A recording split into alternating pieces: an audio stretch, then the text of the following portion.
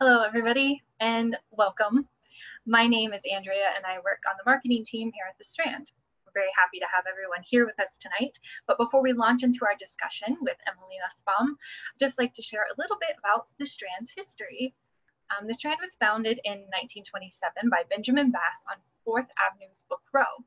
Stretching from Union Square to Astor Place, Book Row gradually dwindled to dwindled from 48 bookstores until after 93 years, the Strand is the sole survivor, now run by third generation owner Nancy Bass-Wyden. We want to thank you all for your support because without our community of book lovers, we wouldn't be here today. Also, we're celebrating today our grand reopening since closing three months ago. So if you're in the area, we hope that you can visit. Tonight we have, are excited to have Emily Nussbaum, who is celebrating the paperback release of her novel, I Like to Watch, Arguing My Way Through the TV Revolution. Emily will be joined in conversation by A.O. Scott. Emily has written for The New Yorker since 2011. She is the winner of the 2014 National Magazine Award for Column and Commentary and the 2016 Pulitzer Prize for Criticism. Previously, she was the TV critic and editor for the Cultural Pages culture pages of New York Magazine. Nussbaum has written a regular column for the arts and leisure section of the New York Times and for Slate, and she's a contributing writer for the New York Times Magazine, Nerve, and Lingua Franca. Emily is joined tonight by A.O. Scott. As a child, A.O. Scott dreamed of being a rock critic. After dropping out of graduate school, he worked as a book critic and accidentally became film critic of the New York Times when he was hired in 2000 doubling down on that bizarre decision, his words, not mine, the paper named him chief film critic in 2004, a title he currently shares with Manohla Dargis. Mr. Scott has contributed to the dabble, dabbling in literary criticism for the book review and occasionally other publications and writes for the Times Magazine whenever he can. He makes frequent appearances on radio and television, especially during Oscar season. In 2013, he returned to academia after a long hiatus and is currently a distinguished professor, professor of film criticism at Wesleyan University. He lectures widely on film and especially on the importance of criticism, which is the subject of his book, Better Living Through Criticism. When he is not watching movies or listening to music, Mr. Scott spends most of his time in Brooklyn and on a small island off the coast of Maine, cooking and enjoying the company of his wife, their two mostly grown children, and their dog. Now, without further ado, Emily Nussbaum and A.O. Scott.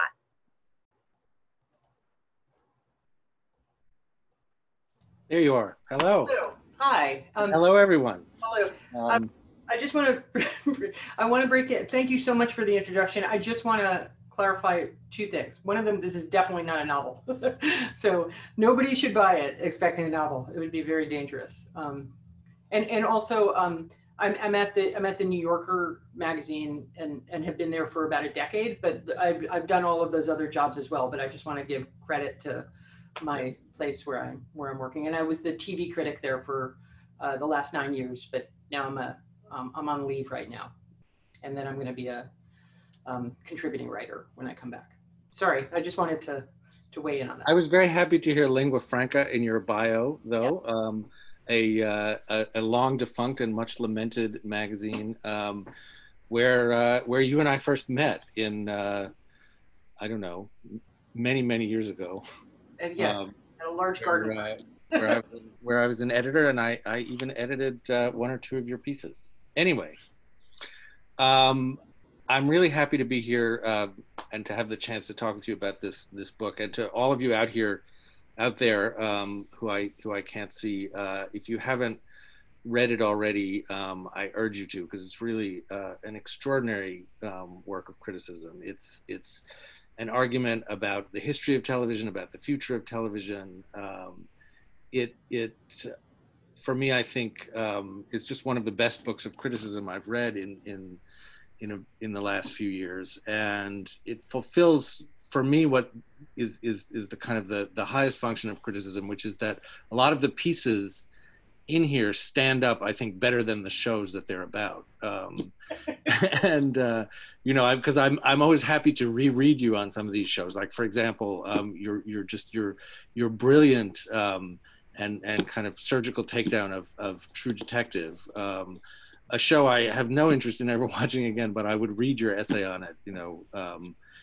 once once or twice a year just for the for the pleasure of it. Um, and uh, so I thought um, there's so much there's so much to talk about in the book and and around the book because obviously television is a medium and art form um, that continues to to change and to expand um, and to affect our, our lives and, and reflect our culture in all kinds of different ways. Um, so I want to talk about some of the, the, the ways that that's happened um, since you've you wrote the, the, the pieces and collected them in the book, but um, but I also want to kind of trace the, the the the history that's in the book because this really is a kind of a, a, a, series of snapshots of the last 20 years or so um, of of television uh, in a way that is both very public in terms of it's it's about the shows that we that many of us have have watched and watched together um, and and that that reflect the culture we all share.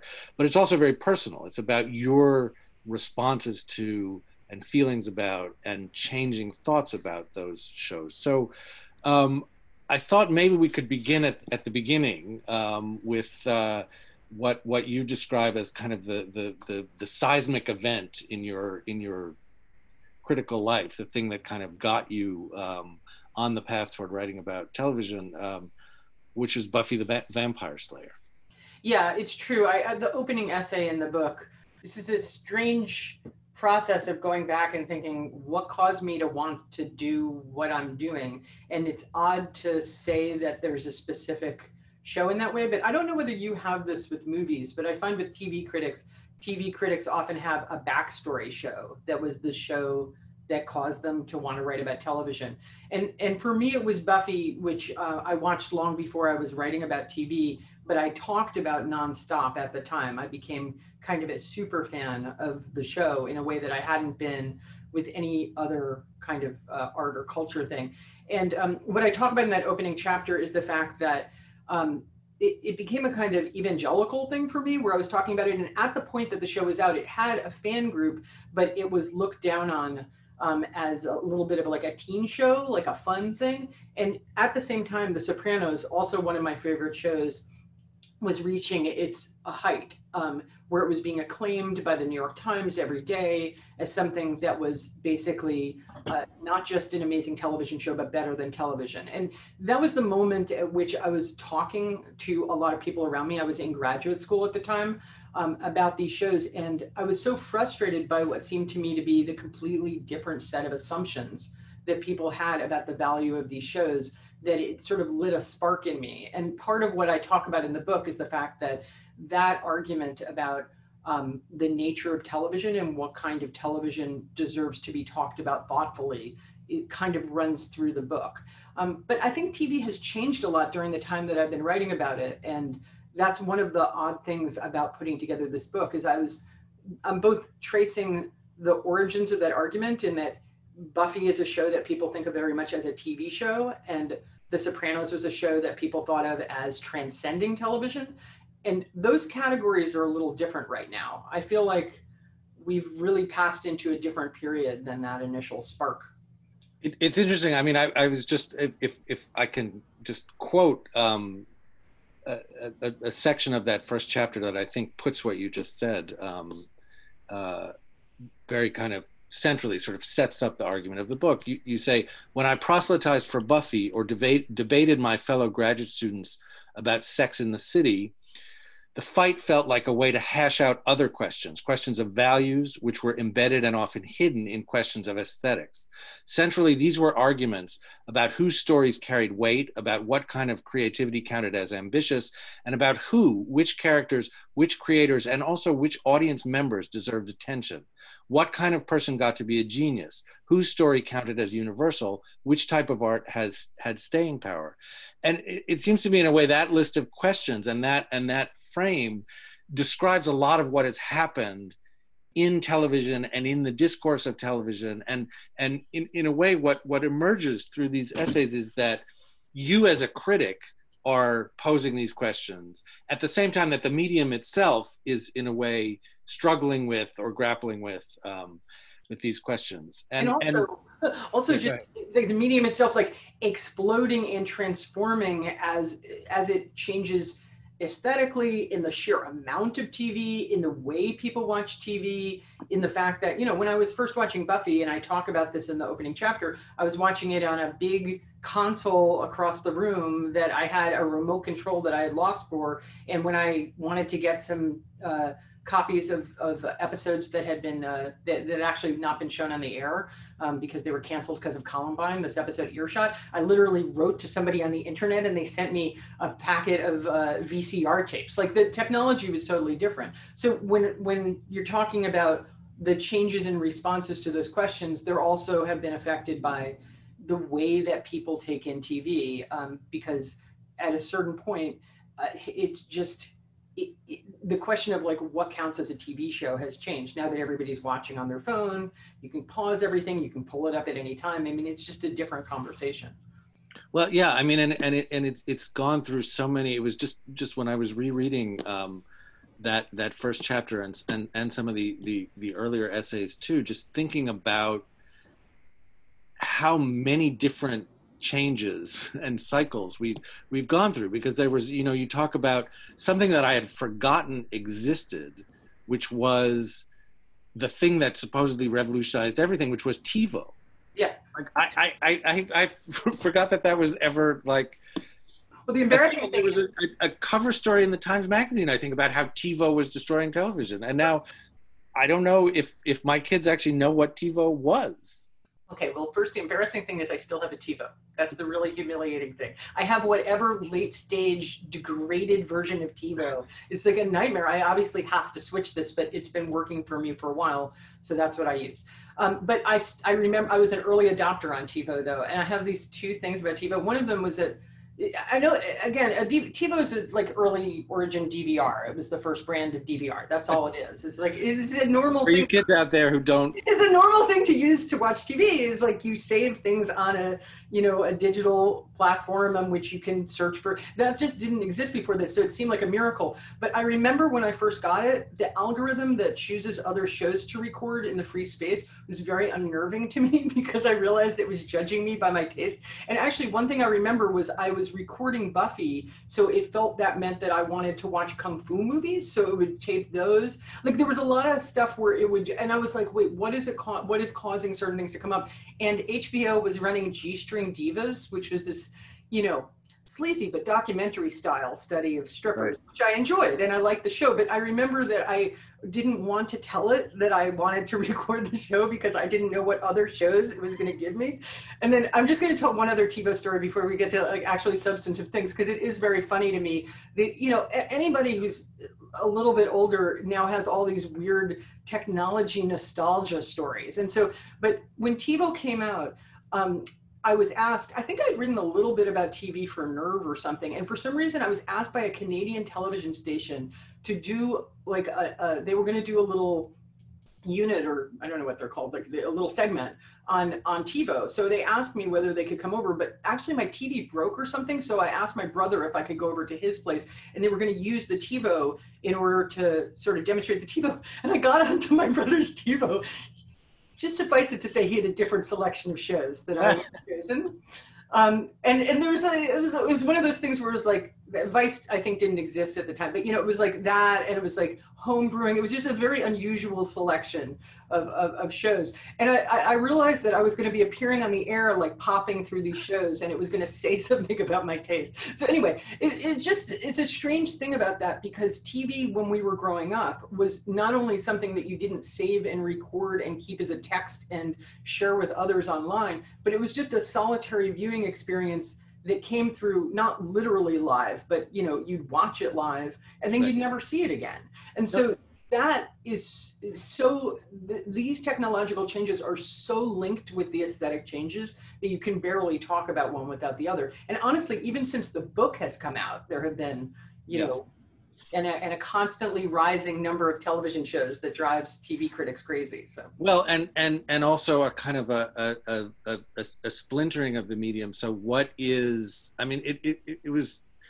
It, it's great to think about, and, and and I wonder if there's something about the generation that we both belong to that makes this so because because we have lived through um, you know the sort of the big console box with with three network channels on it through cable, through you know. Um, you write a version of like "I'm Still Here" that's nothing yeah. but discussions about pause buttons. So. But but but it is true that it that in your book there is a kind of a nice long historical view that that embeds um, the the current issues that you're writing about within the history not only of the medium and the technology but of but of but of the the the the the, the, the form i mean you go back and you talk about older shows and older forms of um, what what came to look like you know sort of the the the newest and most cutting edge yeah. stuff I, I mean, TV history is really important to me, but I don't have a background in TV history. So I had to be a self educated person on this. And I, I, I, think I mentioned this in the book, but when I started at the New Yorker,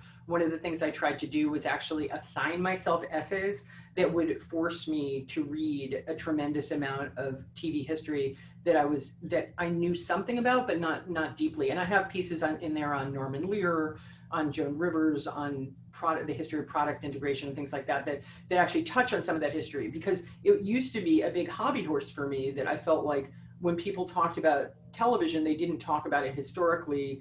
And in order to understand what the medium was, they should stop comparing it to books and to uh, movies all the time and actually talk about it within its own history. That it's one of the arguments of the book is that there was this harmful thing that happened around the turn of the century where in order to make up for the fact that people look down on TV whenever a TV show was good they would say it's so good it's not TV it's like a novel it's not it's not like TV it's it's it's like a Scorsese movie and I wanted to you know put it in the context of TV but I used to complain that people didn't know the history of TV, but then all the technology changed. So now suddenly people had access to enormous amounts of old TVs. So there was this, and honestly, this happened simultaneously with me working on the book to some extent. There were there there was this emergence of archives of television. I mean, people could already watch old TV shows in reruns, but there was this point where like ER became available, and a bunch of people were like, "Yeah, I'm sitting at home binge watching ER, which is this older show."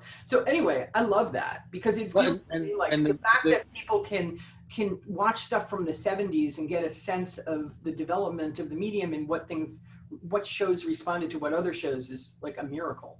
And and in that respect i think it has become a little bit more like other art forms in that there exists a sort of an archive and you can build a library. And the, the the idea when we were growing up that you would go back and rewatch something like the whole run of something. It was it wasn't technologically possible but it also would seem insane you know well, i was um, talking to somebody about like because at a certain point there were vcrs but vcrs were so hard to read it's a strange thing about technology that small changes in how yeah. easy it is to use them have massive changes in in in the the mass use of them. And this was a case in which theoretically you could tape something on a VCR tape, but you had to be very devoted to a show to actually do the work. Now you can just pick things up anytime and it really changes the the connection that people have to a show in, in I think a good way because people have uh, the ability to treat TV as a text is the thing that happened that they could actually take it apart, rewind, pause, compare it to other people.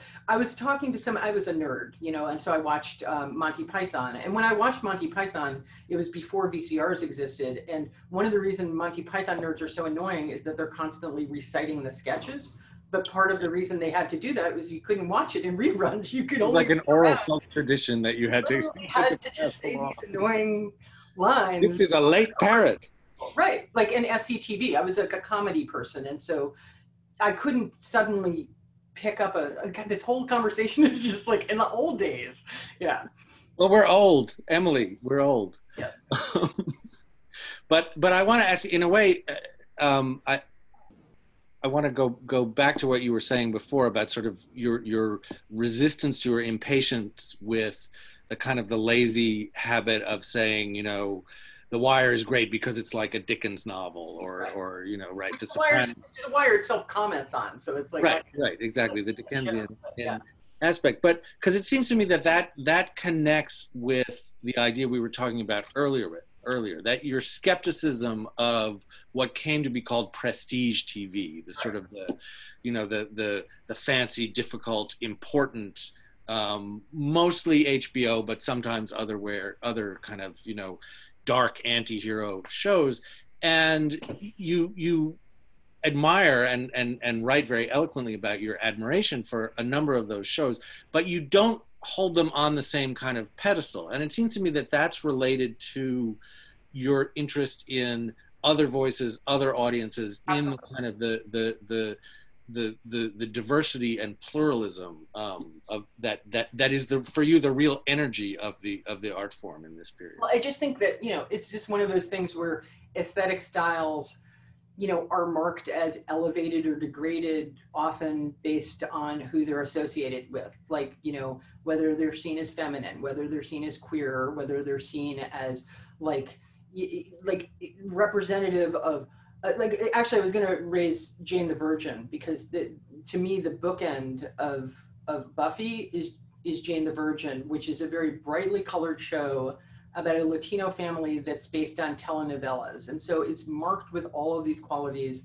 that associate it with teenagers with women with non-white people with people who um, with with, with um, archness with melodrama with soap opera which is you know historically this degraded form. And when i was thinking about writing a book i ran into a woman and i was just asking her what do you watch on tv and she said you know silly things like jane the virgin. And then i went into the i was like no it's a really like beautiful smart humane show. And one of the things about that show has to do with who the perception is as the viewer and also who the heroine of the show is. Um, but it's complicated because it, it, to me there's also other categories that are seen as like the lower forms of tv like often drama is treated as more serious than comedy that's just like a general thing or sci-fi and speculative fiction and fantasy are treated as junk compared to realistic stuff. I mean a lot of these some of these things have to do with identity and the identity of who is telling the story and who gets to tell a story. Um, and you know i have profiles in the book as well. I have a a profile of Jenji Kohan. I have a profile of uh, Kenya Barris during the, I think the second season of Blackish when he was making it, and a profile of uh, of Ryan Murphy. And I just those were just profiles that I wrote for the New Yorker, but each of them is working with material and genres that they know and and kind of have a complicated chip on their shoulder about are treated as like the lesser forms of TV. And again, some of those things have to do with identity, but some of them don't. Like some of them are like network versus cable. And right. part of the mission of the book is not to invert things and say a network sitcom is therefore better than you know a serious cable drama. That's not true at all. It's actually to treat each type of television with a, a, thoughtfulness that doesn't just give a gut reaction and say that's junk that's serious. My theory about this is that a lot of this has to do with the way that people treated television as a medium in those early years, which was not as an art form, but as a kind of addictive, dangerous, dumb mass commercial form, which to a certain extent it was. That's that, that has to do with the history of TV. Yeah.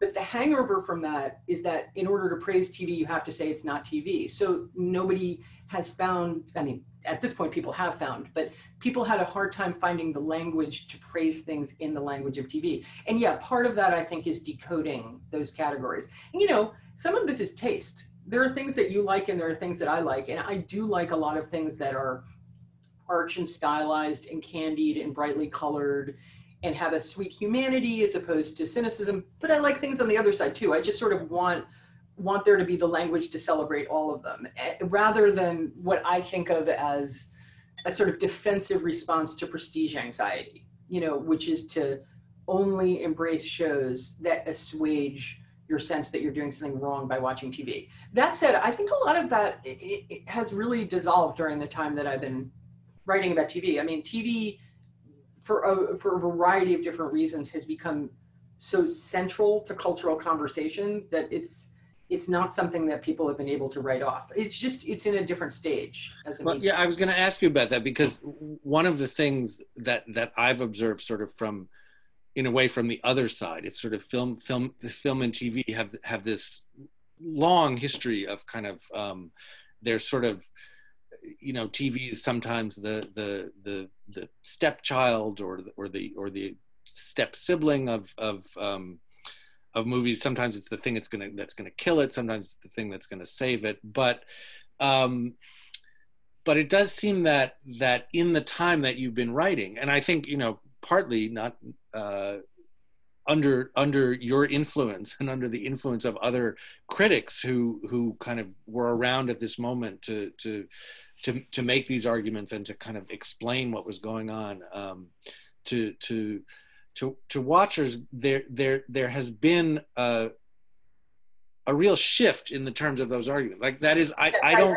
it's definitely true. When i look when i wrote that piece on true detective it was at the height of the of the to me, enormous overpraise for True Detective, which people were acclaiming as the work of a notorious masterpiece. It had to do with all of these things. So when I wrote the piece, the reason the tone of that piece is so strong is because I was trying to like puncture yeah. what was a gas balloon, uh, felt to me of overpraise. That's not the case anymore. I don't think people receive stuff in quite the same way now. And and where I mean, what is your sense of of of, of where we're at now? Because I mean, we we've been talking about the networks and cable and there was you know basic and and now we're sort of we're in the era of the streaming platforms um absolutely and now there's like change. everybody's trying to figure out what is the difference between hbo and hbo go and hbo now and hbo max and there's quibi. and there's quit whatever that is i don't even know. I don't know if it's gonna be I, that would that would be the, the, sort of the most puzzling essay if, if there was if there was a, a Quibi essay. We watch one show. I think Quibi is its own own weird running joke, but but yeah, I mean, streaming is obviously and streaming's been around for a while now, but it, but it is strange because like I remember the first time, and it was basically that year when Netflix switched from sending people DVDs and yeah. suddenly you could get a whole show at once. It was actually pretty shocking. I remember when both um, House of Cards and Orange is the New Black came out, and it was this big adjustment because part of my idea about TV and the thing that I was always praising about TV and that I loved about TV is that TV takes place over time and it's so extended and it has this response loop with the audience that seems very different to me from other art forms. So I've written a lot about how when shows take place over years and develop followings, the show ends up responding to the audience and the audience response shapes what happens on the show and the show is sort of made in front of our eyes. And that's been a big thing that i've written about with a lot of shows. Streaming altered that. And i really i have to say it was weird. I found myself realizing it's not as though i'm nostalgic for shows always coming out just once a week at a certain time but i i did feel like there was something that really changed in the medium itself when suddenly you would get uh, I mean, when the creators of shows no longer had the feedback from the audience that they normally had halfway through a network season and they produced the whole thing at once. But then I actually found, you know, TV shows still take place over years and years, which is a different kind of commitment as a viewer than right. a book. Um, and I, I really have found that even on things like Netflix, because there's a break in between the seasons, the seasons tend to be responsive to people's responses. Mm-hmm. so it's just a, it's a more extended version of that same loop. But this, there are all sorts of changes that are really valuable, including you know, t- uh, I talk about these central qualities of TV, and one of them is how um, deeply collaborative it is, and how difficult it is to write about collaboration versus individual genius. But because um, you know, technology's gotten less expensive because people can make shows that only have maybe six episodes. There's more potential for people having very much an individual viewpoint that comes through a show. Right. And, you know, uh, it's now become a normal thing to just have a 10 season episode. People expect that. I think that's a huge improvement for storytellers a lot of the time. I mean, there are a lot of other changes. I mean, it's all exciting. It's been, a, I mean, I'm not a TV critic right now I'm on book leave and I'm writing another book. But like, I have to say, the shows that have come out this year still have startling, cool new things. I'm excited about the state of it, even though I'm not keeping up exactly with what new streaming channels and stuff are out there. Um, do, do, you have do you have thoughts about? I mean, there, there are two like very recent, um, real world uh, phenomena or or events, the sort of the the, the, two big ones that, that do actually. By the way, I got confused for a second because I'm writing a book about reality television, and so you said there are two big real world events, and I was like, the real world? No, not the show. Yes, not not not not Puck or whatever. Um, but uh, I mean, one thing that happened when when when you know the the the the pandemic hit and we were all at home. Um, the the the relationship to TV, um, if it was even TV anymore, to to to streaming media um, and and and to video, um, it it became you know the the the the central cultural fact in a way in everybody's life. It was sort of everything that there there was, and I wonder how you, as a as a recovering TV critic, experienced that. Well, I mean, I have my own work to do because I have to. I'm like trying to be disciplined about doing the research on the thing that I'm doing, and I, I found it a real pleasure because now I was able to just watch the shows that I wanted to watch, which is what I've been doing. But I know a lot of people were saying, "Wait, I was wishing I had enough time to catch up on these shows, and this is not what I meant." Like, eh, because literally, I mean, especially during the height of the crisis, everybody's home. I will say that it, it, it did destroy. I mean, not that Quibi would have been a successful thing anyway, but their model is it's on a phone, and each of the episodes is just seven minutes long. It's clearly designed for people commuting or waiting in line or taking a break nobody i mean some people are but like in general people have not been commuting or waiting in line. They have a massive free time. Yeah, I, and, and don't want to people were asking about like what are you what are people watching on streaming and during during and i don't know like this is there have been many crises during the last few years and people like different things. Some people are looking for soothing things and some people are looking for fun dumb stuff and it's just i, I don't think there's been any particular pattern to this. But I've, I've been happy because I still have the screener privilege, so I get a few of the shows in advance. But for for movies, like because now, I mean, there's been this there's been this very weird merge between platforms because a bunch of movies now debut through streaming things, and I know that's really difficult.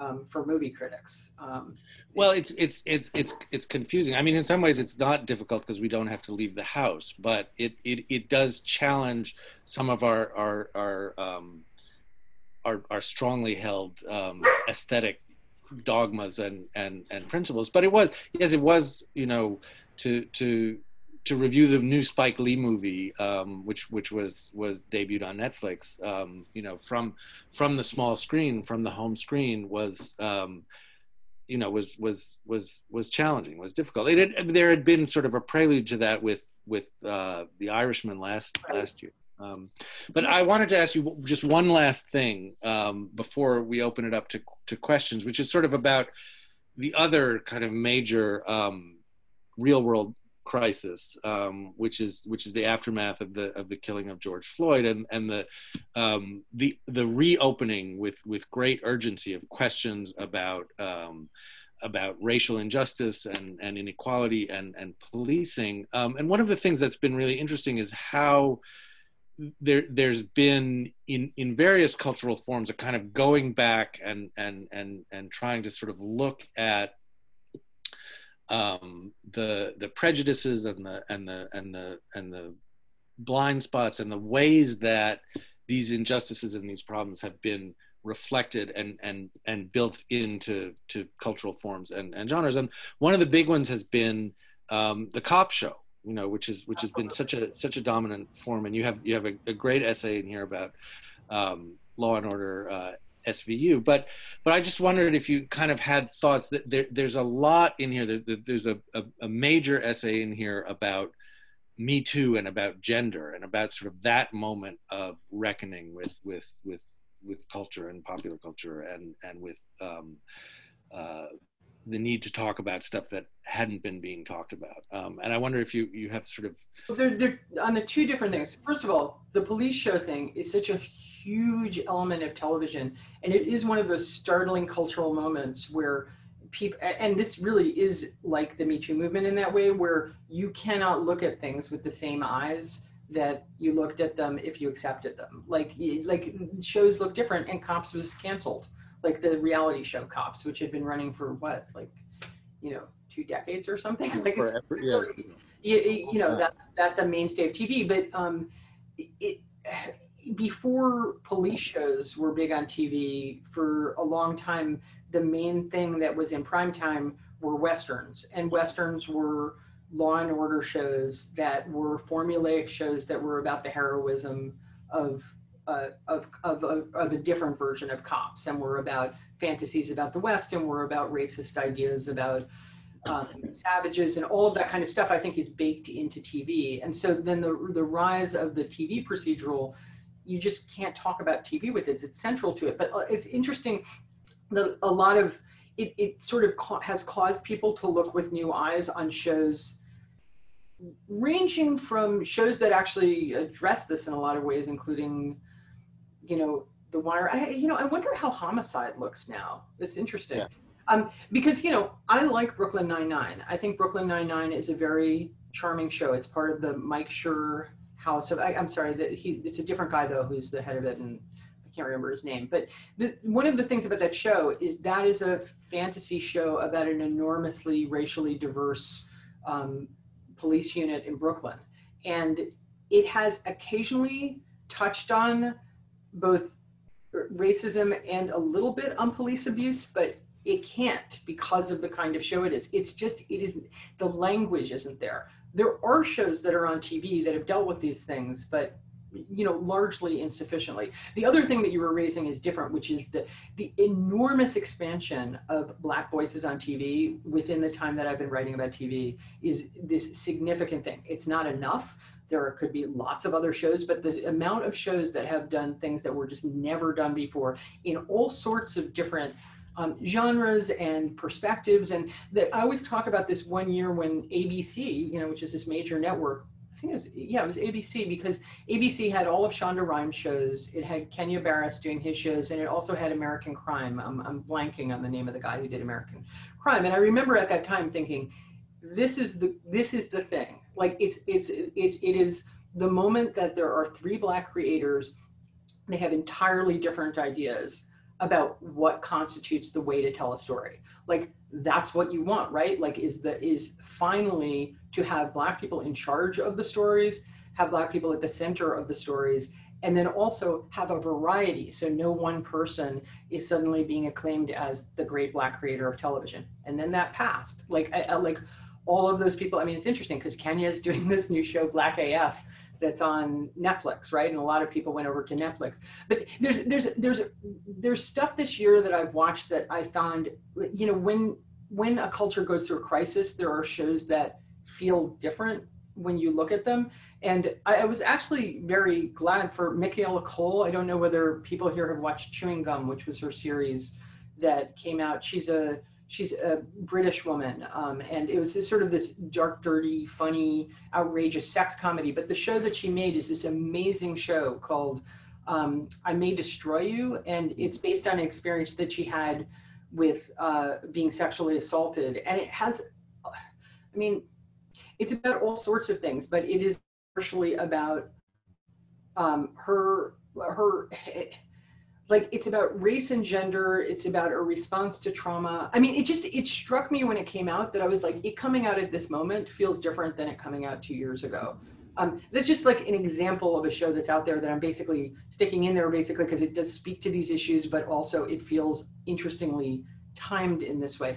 But it's funny one of the things that always bothers me is that and this is true for um, a lot of different kinds of activism there aren't that many tv shows that deal with activism. Like I'm not talking about racial violence, which appears in different forms on various kinds of shows, but there aren't a lot of activists on TV. Like you don't see that much about any kind of activism. I mean, every once in a while you'll see like a special that's about gay activism or a, a little mini series or something like that.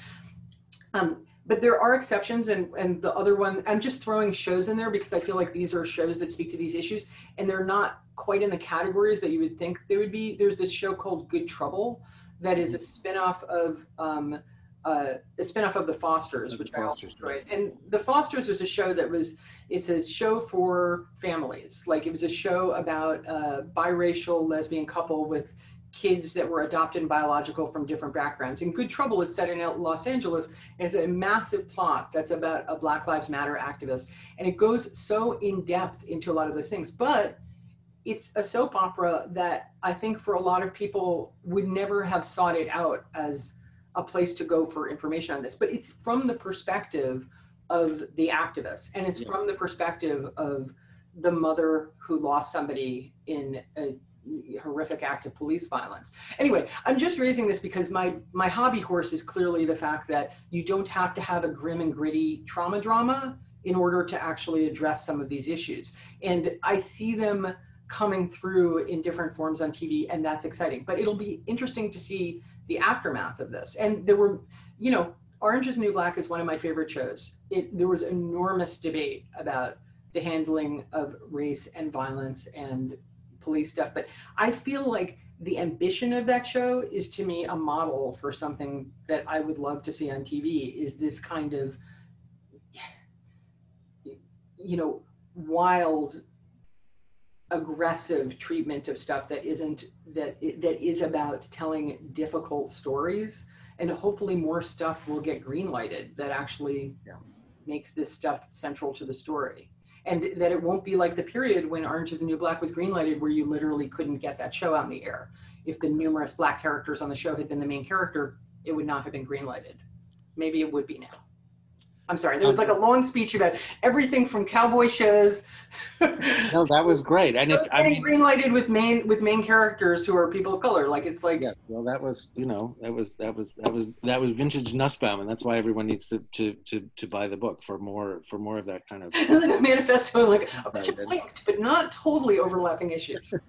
that was valuable. So we have some questions coming in. Um, you can ask questions uh, out there um, either in the the Q&A box um, in Zoom or the, the chat box in Zoom or, uh, or on Facebook. Um, and a few have come in. Um, and uh, all right, here's, here's, here's a question um, in which I have no stake since it's not a show that I ever watched, but um, someone would like to know, did, did you watch Game of Thrones? And I know that you, you, you, you wrote a very perceptive uh, piece about the, the sort of the, um, Game of Thrones as, as being an allegory of politics. Um, this person wants to know what did you think of the final season, and more so, what did you think of the fan reaction to the final season? And this is a fascinating case of, of like a thing that was the most popular thing in the world that suddenly everyone seems to have turned on.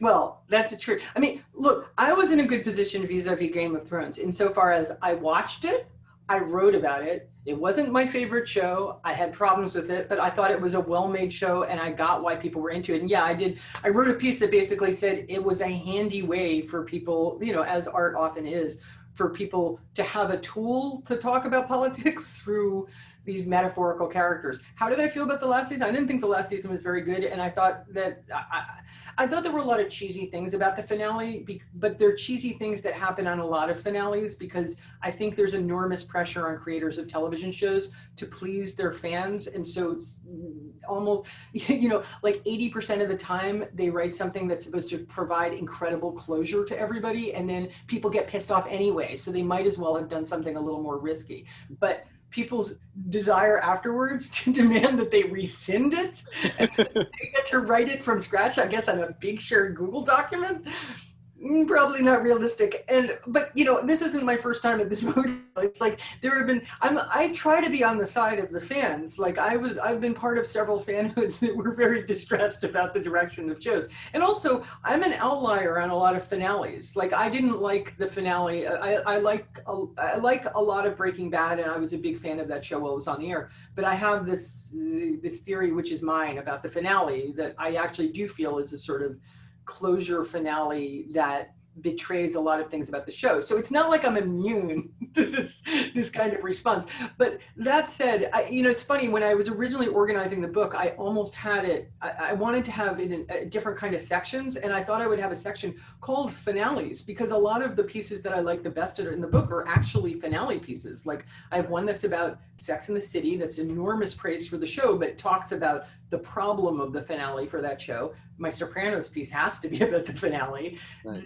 um, and uh, the Lost piece, which is a mean piece about Lost, show that you know, yes. like uh, no, and, and another sort of. Uh, I think there's another one too. Like uh, the the True Detective piece couldn't be about the finale because I wrote it right before the finale, but the finale confirmed my opinion. And I think there's some. I mean, there are also some interesting pieces that that are in the middle. I mean, like the Americans piece, right? Does right. not is, is, is pre-finale and that that finale was one that that i was fascinated by and that i did not think was going to be what it was, and that um, I thought I, I actually loved that finale. When I, I wrote a p- I actually wrote a blog post about that show that I'm very proud of about the finale. That God, that show was good, and it did. It, it really was meaningful that they were able to land that plane.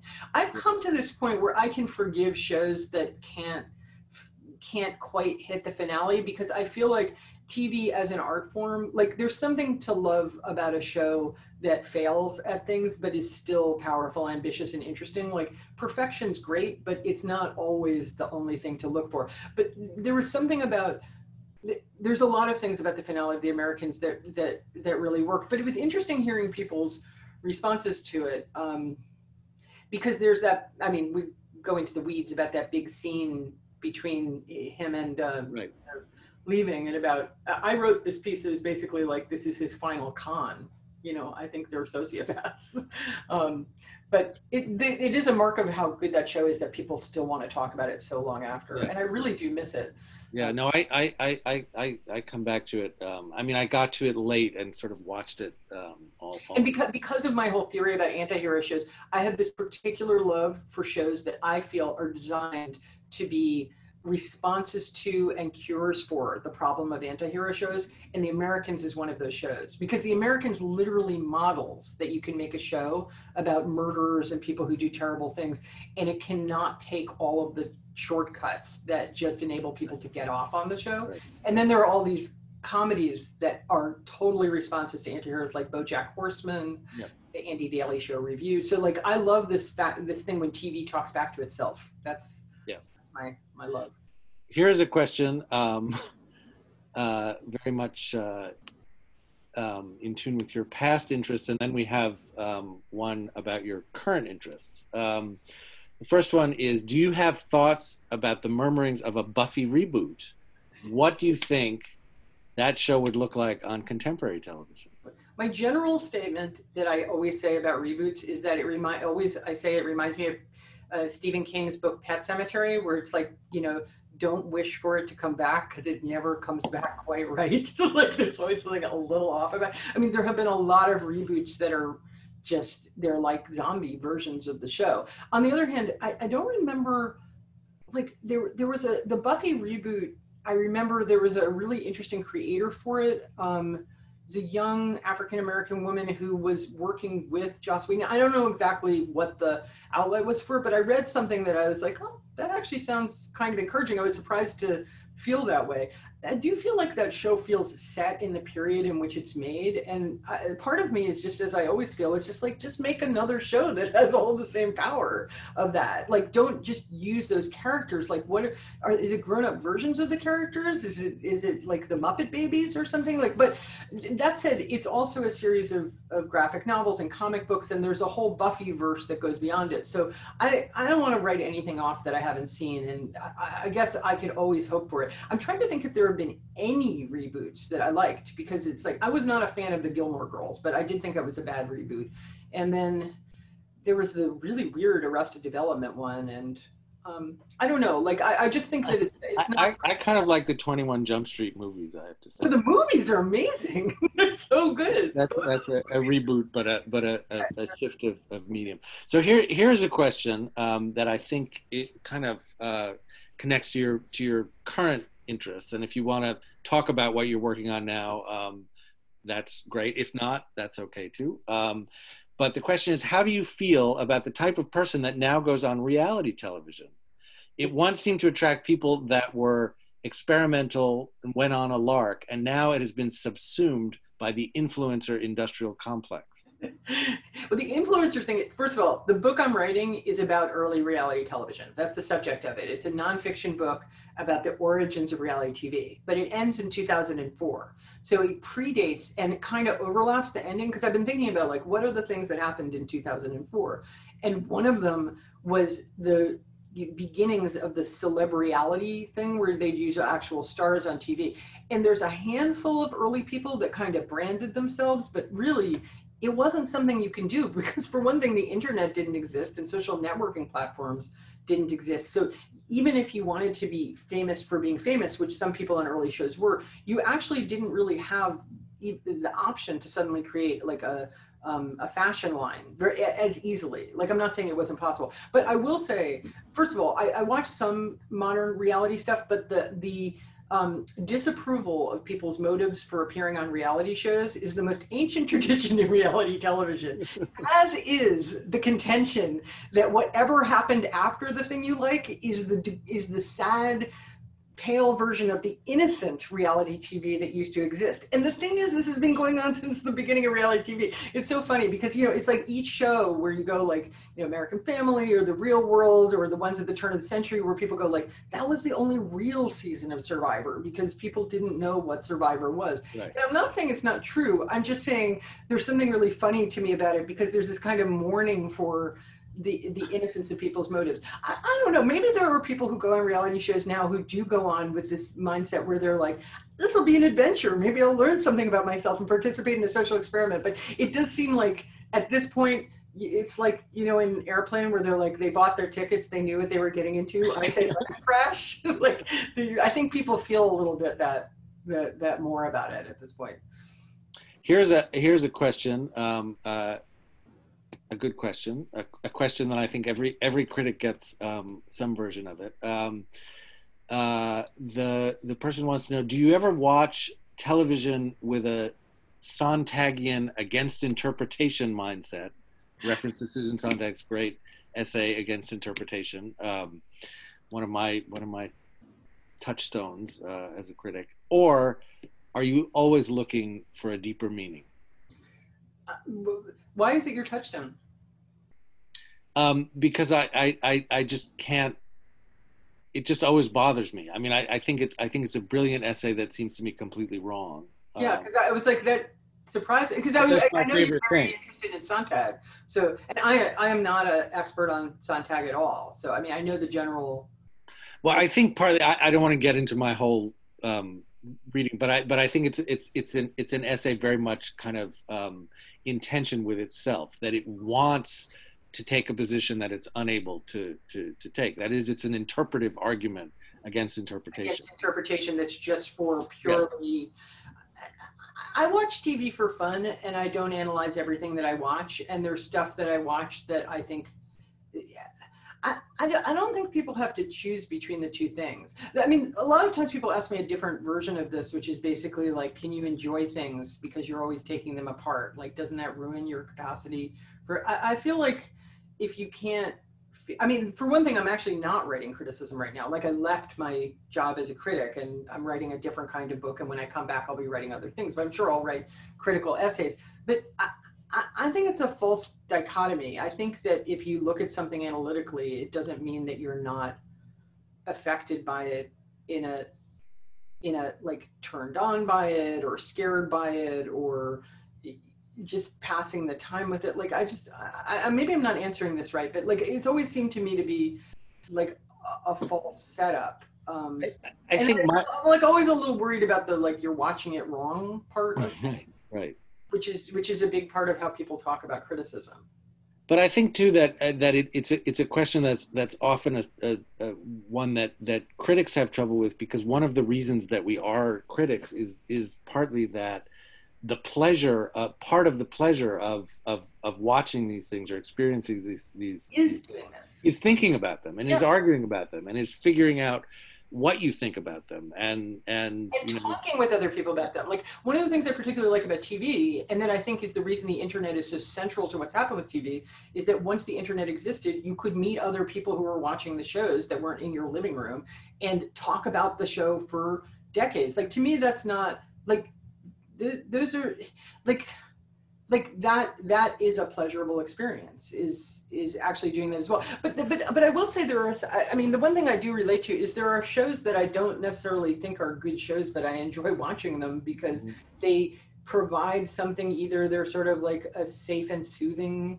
experience or they're pretty you know like they have nice tablecloths. I, I, don't know like there's there's a people always watch things for multiple reasons but i don't feel like i'm in danger of of being entrapped by some sort of wiry like inability to to feel unconscious responses and and and forced to analyze everything that I see. Um, but maybe I'm mistaken about myself because it seems like somebody who had that mindset would probably make an argument that they weren't having it. So, all right. Interpreting me. But that's also what you're doing. I mean, that that's the thing about criticism too, is that, and and and I think one of the things that that that I that I like so much about this this book, as I was saying at the beginning, is that it is.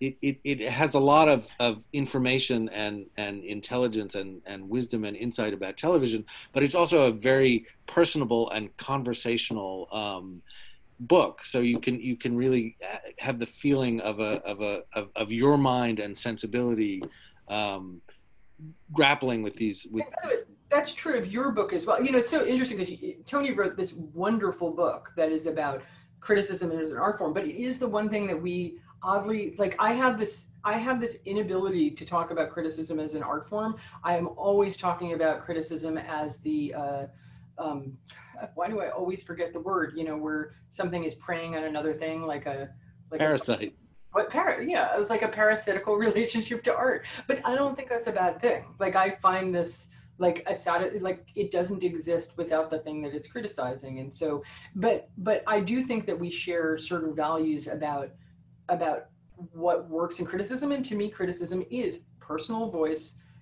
a seductive theatricality is mm-hmm. is part of it you're reading it in order to hear some person and the critics that i like I often like reading them, even if I disagree with them. And I like the conversation. And I like this quality of TV criticism right now is that there are so many multiple voices, many of them not official critics, just people talking on discussion boards or talking online.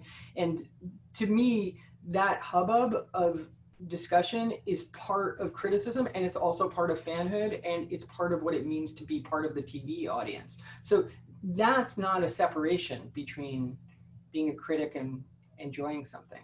And I don't think that part of it that's analyzing it marks it as anything other than just part of the pleasure.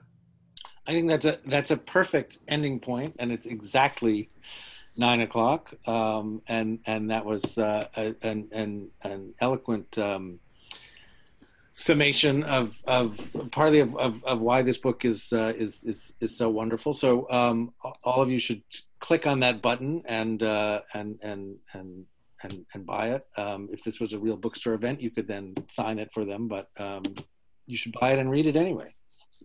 Thank you for having me. It was wonderful. Thank yeah, thank you guys both so much. This is a wonderful conversation. I, I wish we could go on.